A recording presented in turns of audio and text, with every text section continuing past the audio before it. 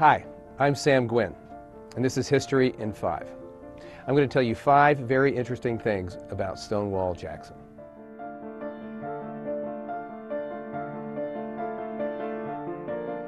I think a lot of people in America today don't realize that Stonewall Jackson was the South's greatest hero after Robert E. Lee. Uh, he was one of the, the first great heroes of the war, and his transformation from being a sort of a mild-mannered, eccentric physics professor to one of the more famous people in the war took place extremely quickly, and it took place faster than just about anybody. Jackson was famous because he engineered so many stunning military victories.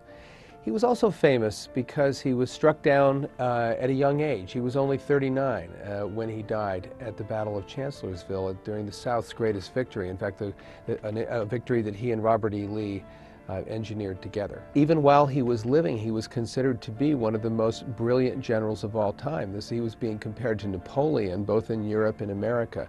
His Valley campaign was an extraordinary military feat and it, it, uh, Jackson's military uh, accomplishments defined him and made him what he was.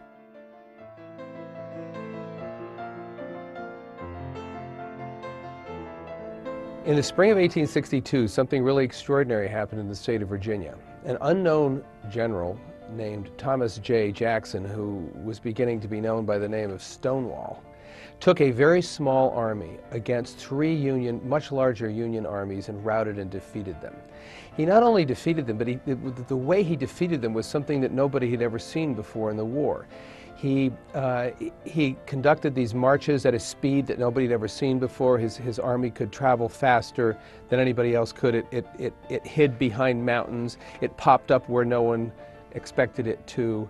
And he, by maneuver, basically, and tactical brilliance, he was able to take a, a very few, a relatively few men against many men, and at one point even throw a scare into Washington, D.C. And in this way, this became known as uh, Jackson's Valley Campaign, or Shenandoah Valley Campaign, and it's what made him famous.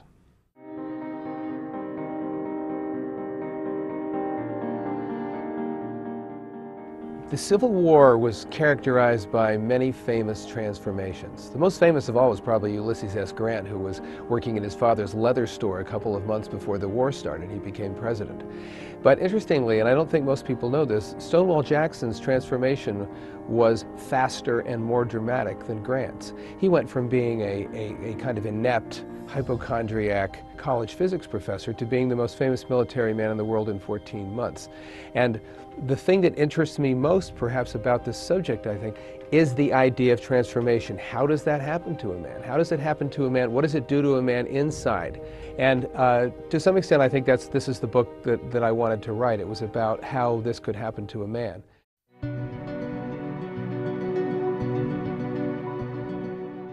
One of the most interesting things about Jackson's success was that it came in spite of a very, very unusual and eccentric personality. He was a, he, a hypochondriac at the very least. He also had a number of very real physical ailments. He was, uh, he was also very silent man. He, he, he would not engage in even the most rudimentary kind of, kinds of, of social conversation. Uh, he would fall asleep during conversations. He would fall asleep in church.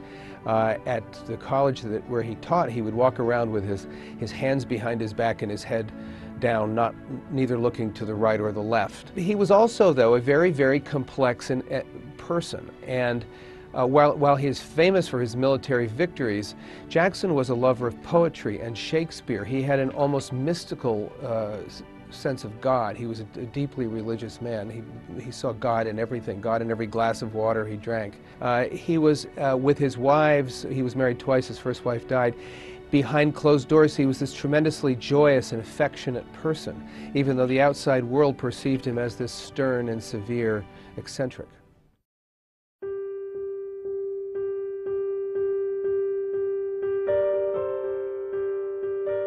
Robert E. Lee and Thomas J. Jackson were completely opposite personalities. And yet they found each other early in the war and they found something in each other. And I, I don't, I suppose it was a, perhaps it was a sense of, of aggressiveness, a, a sense of, of, of wanting to, uh, to uh, attack the other side or bring the war to the other side that was not shared by other people uh, on, on, in the Confederacy and really not shared by very many people in the Union. And they found each other during the Shenandoah, Jackson's Shenandoah Valley campaign.